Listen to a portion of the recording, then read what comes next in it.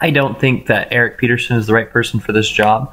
For one, he has no management experience. Uh, it says that he just barely graduated with his MBA, and he has no cellular experience. He doesn't know very much about the technology, about um, you know what needs to happen in cellular to uh, make this make this project happen. And it's clear that uh, he has issues with uh, working with other people.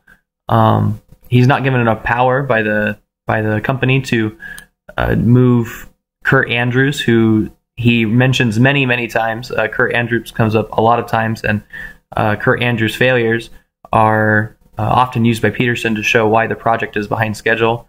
Um, and that's another reason why I think Erik Peterson isn't the right person for this job because the project was already behind schedule and he's never done anything like this before. So throwing a new person into a management position when you're already behind schedule and it's very important to meet deadlines, I think is a mistake.